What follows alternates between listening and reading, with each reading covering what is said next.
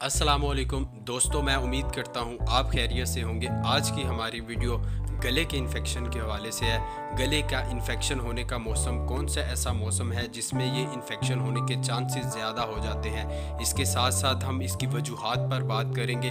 कौन सी ऐसी वजूहत हैं जिनके बायस ये इन्फेक्शन होने के चांसेस ज़्यादा हो जाते हैं। इससे बचाव पर बात करेंगे, इसकी प्रिवेंशन के लिए कौन कौन सी चीज़ें हैं जिनको अपना कर हम इस इन्फेक्शन से बच सकते हैं। इसके साथ साथ हम कुछ होम रेमेडीज़ को डिस्कस करेंगे, जिनको इस्तेमाल करके हम इस इन्फेक्शन को ख़त्म कर सकते हैं। गले का इन्फेक्शन होने का मौसम, जो ही मौसम बदलना शुरू होता है, गर्मी से सर्दी की तरफ़ तो गले के मराज बहुत तेज़ी के साथ फैलते हैं। खासकर लो इम्यूनिटी वाले लोगों और बच्चों को बदलता मौसम बुरी तरह मुतासर करता है। इसकी बुनियादी वजह अपनी डाइट में बदलते मौसम के साथ तब्दीली ना करना है। होना तो यूँ चाहिए कि गर्मी से सर्दी के मौसम में जाते हुए हमें ठंडे मशरूबात तर्क कर देने चाहिए और इसके साथ साथ खट्टी चीज़ें खाने से परहेज़ करना चाहिए। बदलते मौसम के साथ ही ताज़ा या नीम गर्म पानी पीना चाहिए। गले के इन्फेक्शन में सूजन, दर्द खारिश और जलन की बुनियादी वजह वायरल इन्फेक्शन है। सर्दी, लगना और फ्लू से मिलती जुलती अलामत पैदा करता है। अक्सर हल्के दर्जे की गले में सोजन खुद ब खुद ठीक हो जाती है। गले के इन्फेक्शन की अलामत, गले में दर्द, खारिश और जलन, कुछ खाने पीने से दर्द का ज़्यादा होना, गर्दन या जबड़े की सोजश, आवाज़ का बदल जाना, आपके टांसल्स पर पीप का जमाव इन्फेक्शन के बढ़ने की सूरत में बुखार, खांसी, नाक बहना, छींके आना, जिसम दर्द, सर दर्द वाली अलामत भी पैदा हो सकती हैं।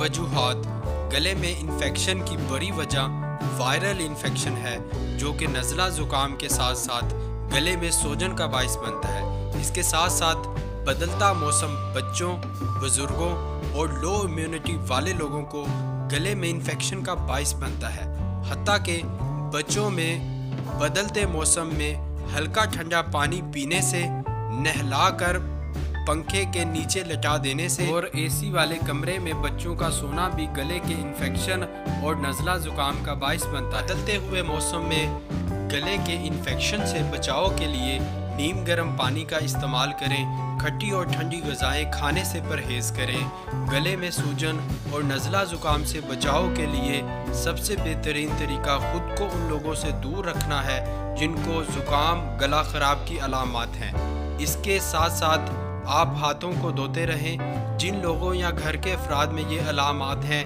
इनसे बर्तन और खाना शेयर ना करें। पब्लिक मकाम या हस्पताल और क्लिनिक पर चीज़ों को हाथ ना लगाएँ।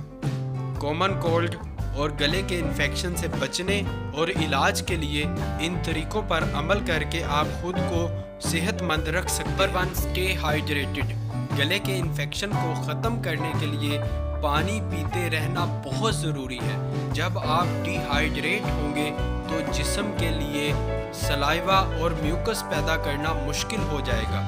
जो कि कुदरती तौर पर आपके गले को लुब्रिकेट रखने का बायस बनता है। सलाइवा और म्यूकस ना बनने के बायस सोजश और इन्फेक्शन बढ़ जाएगा। नंबर टू, भाप लेना। भाप लेने से गले की सोजश और दर्द कम हो जाती है। इस मकसद के लिए पानी को गर्म कर लें। इसमें एक चम्मच मैंथोल ऑइंटमेंट यानी विक्स मला लें। और सर पर इस तरह टावल लें कि भाप सीधी आपके नाक और गले में उतरे।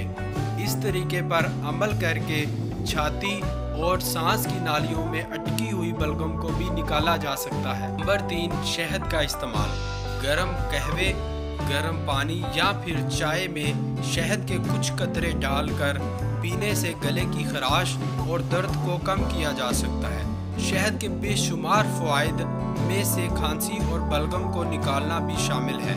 नमक वाले पानी से गार्गल करना। नमक वाले पानी के साथ गार्गल करना इन्फेक्शन को कम करता है, जिससे गले की दर्द, खराश और गले में अटकी बलगम बाहर निकल आती है।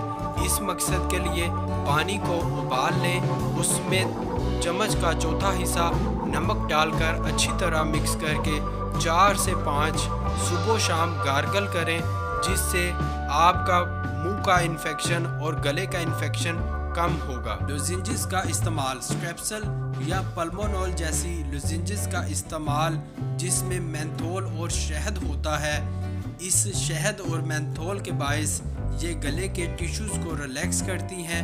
ये गले में होने वाली खराश और जलन को वक्ती तौर पर कम करके सुकून फ्राहम करती है। खाना खाने में मुश्किल, सांस लेने में दुशारी कान में दर्द, मुँह खोलने में दुशारी गर्दन में गदूद का फूलना, इन अलामत होने की सूरत में फ़ौर डॉक्टर से रजू करें।